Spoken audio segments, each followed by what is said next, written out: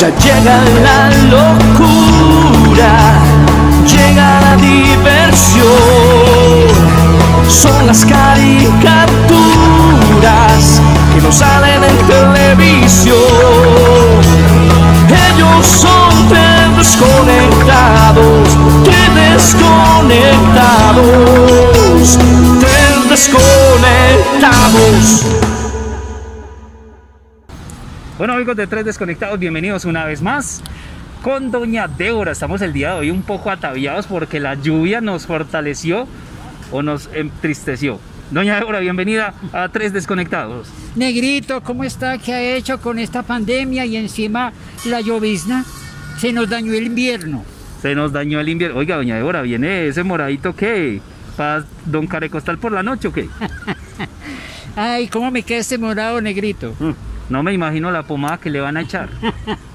No, me, eh, la blusita que me estoy luciendo. Ah, le queda muy bien. Oiga, se ve más pechugona que antes. Ah, sí. Bueno, No, yo siempre hago ejercicios pectorales. ¿Sí?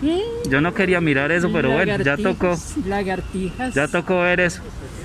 Oiga, doña Ay. Débora, eh, ¿qué día es hoy? Hoy se cumple o se Ay. conmemora una fecha muy importante para todos los colombianos, para la farándula, para el humor, para la política. ¿Cómo le parece que hoy está cumpliendo cuántos años de muerto? 21. 21. Mm. ¿Cómo llora el país a este gran humorista negrito? Don Jaime Garzón. Jaime Garzón, yo vi la novela que le escribieron a él. Sí, Mm, eh, Ave María enamorada de esa telenovela. pero decían que esa telenovela no era muy fiel a la realidad, que había sido, que tenía mucha ficción. Pero el artista se parecía mucho, el que lo imitaba, el que le hizo el segundazo ahí bien hecho para mí, era un Jaime Garzón. Yo diría que era una réplica, Lo que pasa es una que ese, fotocopia. ese artista es muy buen artista, o sea, es un actor de los buenos que tenemos en Colombia. No es tan visto porque no es tan eh, bonito, pero es muy buen actor. ¿A ti quién mató a Jaime Garzón vos? Se dijo que Álvaro, ¿qué? Eso no fue. Álvaro. No, pero el conservador que ya se murió. Álvaro Gómez Es Álvaro Gómez, no. No. Entonces, ¿quién Eso fue? lo mataron uno- unos envidiosos que porque él estaba hablando mal de ellos, yo no sé cómo es la cosa. Me parece que fueron lo- lo- los paracos. Ah, no Los paracos fueron los que lo mataron. Bueno, muy bien. Eh, dentro de todo esto, más, Dios lo tenga en eterno descanso, Jaimito. más que quien lo mató, más porque lo mataron, hay que resaltar la obra de él. Era un gran actor, un politólogo que eh, dentro del humor que él manejaba, dentro de programas como Sociedad, hacía críticas al gobierno colombiano. Y Cuac. Y ¿Se Cuac, acuerda? De Cuac, el noticero. mm, el noticero. Y Mm. él se dio a, a conocer más, o sea, realzó su popularidad con Heriberto de la calle. Ay, sí, tan bello. Yo que no tuve la oportunidad de hacerme emborrar las, los tacones con él. Las quimbas, como diría mi abuela. ¿Sí? Mm. No, usted, usted lo veía, la sonrisa de él, le faltaban unos dientes, parecía, ¿usted ha visto a Mauro Gutiérrez cuando no tiene el puente? Sí. Así, la misma sonrisa, era esa sonrisa, Eh, pero, pero, pero dicen que él se mandó a sacar toda la dientadura para hacer ese papel, me parece. Muy berraco. Sí, sí, porque, no, es que, Mandándose a sacar toda la muelamenta para hacer un papel. ¿Ah? O sea que él tenía como. no, realmente es que él intentó, Puente o, dientería, o, dien- o la dientería atornillada negrito. él tenía caja de dientes, porque él intentó mucho con braques, con todos esos tratamientos para arreglar esa sonrisa tan particular que tenía y no se pudo, eso no se pudo. Y no se parece, ¿cierto? No, no se parece Heriberto de la calle a Jaime Garzón. No, nada.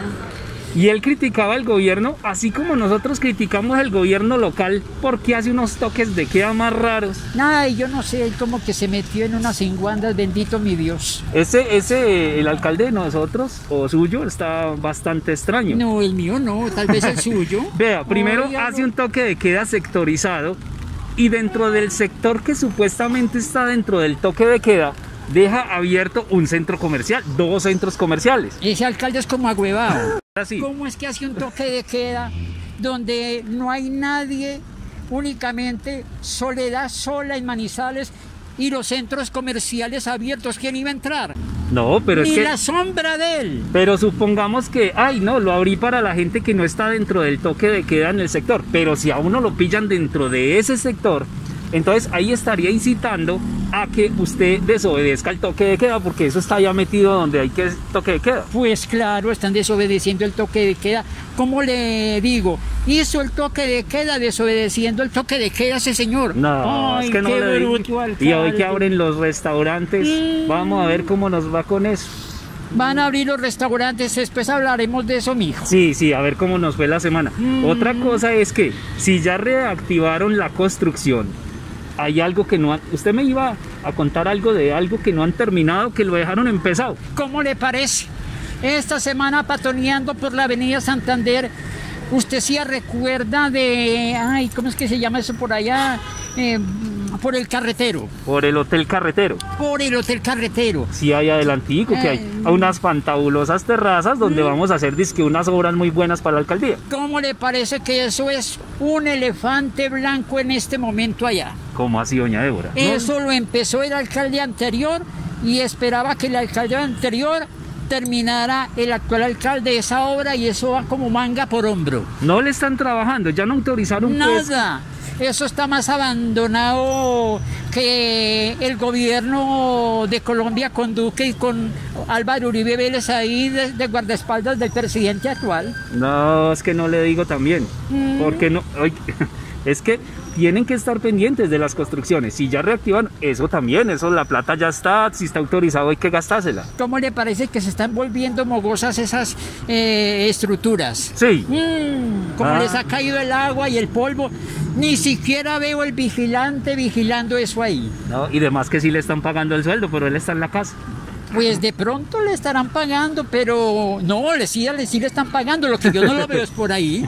No le digo. Hay gente que no está donde debiera estar. No, Así, mm, así como su historia que trae acerca del gran innombrable. ¿Qué le ha pasado? ¿Qué le ha pasado estos días?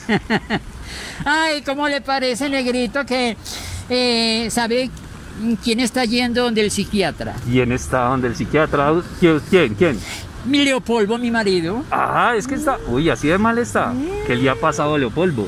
Usted lo tiene allá de estar en la casa, lo volvió loco. Yo no sé si esta pandemia lo volvió loco, pero le está pagando con media de aguardiente. Ah, eso se le pasa, eso ya. ¿Pero quién? ¿El psicólogo a él o él al psicólogo? No, él al psicólogo. Ah, es que es un psicólogo borracho. No, usted se dice, no, eso no, ya no lo van a curar, lo van a emborrachar peor. Ahí le está pagando con mediecita de aguardiente cada vez que va a consulta, pero sí sabe quién está de psiquiatra negrito. ¿Quién? ¿Quién está de psiquiatra? ¿Alguien importante, alguien famoso, alguien conocido? Uribe. Ah, Mm, y eso. está que se enloquece allá en la casa por cárcel. Pero porque si eso es cera, mansión grande con terrenos, ojalá cualquiera de los colombianos viviera en una casa por cárcel de esa, Y es que no ha podido vender la casa. para quedar libre. Va a quedar libre. Pero entonces, ¿cuál es el, el, el- Pero si viera lo que le hizo la corte a él. ¿Cuál que le hizo? Le mandó a quitar los celulares. Sí, Le mandó a quitar los papeles de identificación. sí, Le mandó a quitar la agenda que él llevaba. sí. Le mandó a quitar todas las pertenencias personales. Ah, pero es que que, para la- que nadie lo llamara y nadie lo visitara. O sea, mejor dicho, le quitó la clientela. pero es que en este momento él es un preso, él es un, eh, un hombre privado de la libertad, no puede tener todos esos derechos. Y ya vio la placa, el pico y placa que le colocaron como preso a Uribe. Ah, eso estábamos comentando que se volvió furor en Colombia, se volvió tendencia porque ese número como que lo Yo hicieron en lo- chance y, Sí, yo lo copié, el 1087. Sí. Y me fui a hacer el baloto. y entonces, No me lo recibieron. ¿qué por qué? Que porque ese número estaba prohibido. ¿Cómo que prohibido? Sí. Entonces yo volví más tarde y, y lo, y lo- y lo puse al revés. ¿Y qué? ¿Y ahora sí? Y tampoco me lo Ah. recibieron. Que porque ese número estaba invertido. Inver- Entonces lo volví a me, me fui y lo, y lo combiné. Sí, Y lo volví a hacer y tampoco me lo recibieron. no le digo. Que porque ese número estaba prohibido. Entonces yo dije, entonces, ¿cuál es el número que debo de hacer? No, es que está, es- supuestamente usted es libre para apostar en esas eh, casas chanceras Oh, la señora se metió allá en el hueco, pero con todo, pues. Ay, mira. No, pero lleva buenos zapatos. Ah, sí, sí, por lo menos. Mm. Necesitas uno de los de Mauro Gutiérrez que pare para la playa. Yo, Oiga, yo creo que los del baloto estaban confabulados con Uribe. pero volviendo al tema, volviendo al tema de doña Débora.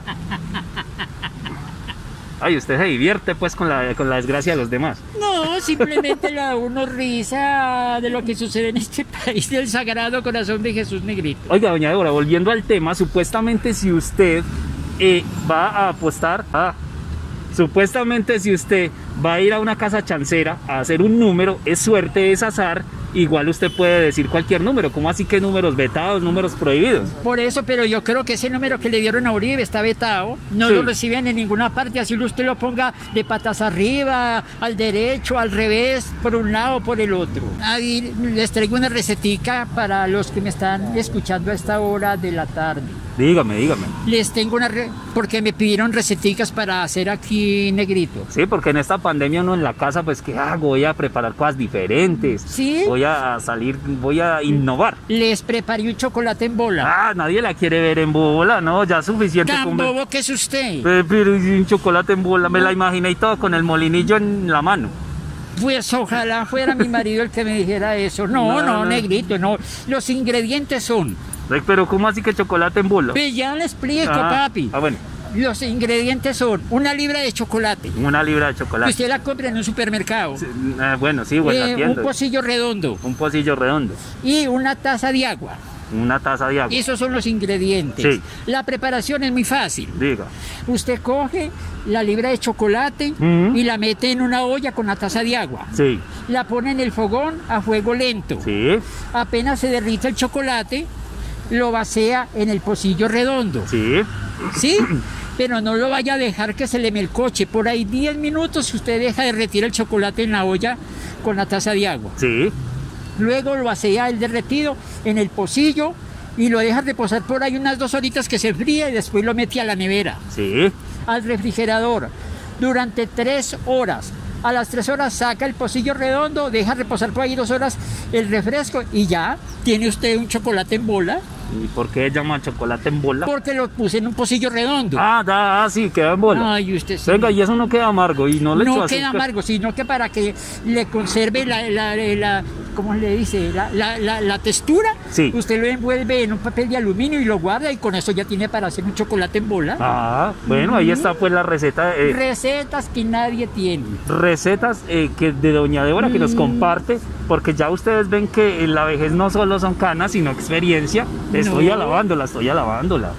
No me Bueno, puede sí, mirar así. Conozco gente joven con canas también. Bueno, sí, pero pues es que este momento era para darle la entrada Ah, a la ya. madame interpretativa de los sueños. Ay, me están pidiendo sueños al soco negrito. Claro, es que eso les... Y me mandaron cartas. ¿Sí? Sí, claro. Bueno, entonces espere, pues yo lo... Señoras y señores, de tres desconectados, a esta hora llega la Madame de los Sueños, Débora Palcatre y su interpretación. Bueno, ahí viene quién nos escribe. Me escribe doña, me escribe Olimpa Nocha. Eso... Doña Olimpa Nocha. Ah, ah, Nocha. Nocha es un apellido, Eso. sí, un apellido. Desde Morro Caliente. Sí. Mm. Mm. Nos dice que nos felicita por, gran- por tan grandioso programa. Sí. Me pregunta que se ha soñado con bicicletas. ¿Que qué significa? Bueno, mi querida Olimpa Noche, eso quiere decir de que eh, usted tiene sueños frustrados. Sí. O sea que no lo han montado. Ah. Eh, bueno, sí, eso sonó muy raro, pero... Bueno, tengo esta segunda carta, negrito. La escribe Armando Escándalo, Armando Escándalo. en manga pelada. Sí. Me dice, doña Debo. Ya de confianza y todo, doña Debo. Pues así como para... Seguramente se le estaba acabando la tinta del lapicero. bueno, usted que lo sabe todo. ¿Qué quiere decir verme besando un muerto? Ah, Ay. Esos sueños del otro. A ver, señor escándalo. Pues soñar besando un muerto significa que sus besos son muy fríos, Ah. o sea, besos, o sea, beso de bobo. Y que hasta se está entiesando por parte y todo. Bueno, y me llega la otra correspondencia que es. em, ay, ay. La otra corresponsal es Matea, Matea niño chiquito. Ah, esa no puede ser brusca. ¿Qué pasó? A ver. No es doña Matea, niño Ah. chiquito. Ah, doña Matea, niño, niño, chiquito. chiquito. No, sí, Eso. su apellido chiquito. en la vereda Chocho Oscuro. Dice que se ha soñado con un billete Sí. De la lotería, Mm. que si es que se lo va a ganar. A ver, eh, mi señora, con, con un billete de lotería, pues indica que usted es muy soñadora. Sí. ¿Quién se va a ganar un billete de lotería So- sueños? Y menos, ma- menos Mm. ahora que le números vetados y todo. Pero le doy un consejo. Desde hoy empiece a hacer el 69 con su marido a ver todas las noches, a ver si le pega. De pronto le pega, de pronto. O, o- o se gana el chance o, o consigue a quien darle pañal. Claro que sí, mijo. Estas fueron pues mis cartas que me han llegado aquí a Tres Desconectados para la interpretación de los sueños. Espero más carticas en esta semana para que dentro de ocho días volvamos a dar otros sueños, papi. Ahí está. Eh, un saludo antes de, de retirarnos a todos aquellos que están conectados en esta nueva etapa de Doña Débora en YouTube e interpretando sueños, contando historias y haciendo un poco de quejas y críticas. Claro. Mm, ¿Qué más tengo yo para decirles? que me queda en el tintero negrito? A ver, esta semana pues hay día de fiesta. Empieza así. El lunes festivo es día de la Asunción de la Santísima Virgen. Sí. ¿Qué más queda? No, ya no, estamos mojando. toque de queda empieza el viernes No es el sábado, o es el sábado el viernes. para mañana. Ah, Y este programa, lo este programa lo estamos grabando hoy jueves Y empieza el, el viernes el el- toque de queda. a las 7 de la noche. Ojalá sea con centros comerciales cerrados porque si no entonces no hacemos nada. Y que los eh, restaurantes van hasta el 31 de agosto, del 13 de agosto al 31 de agosto. Yo no. No, le doy.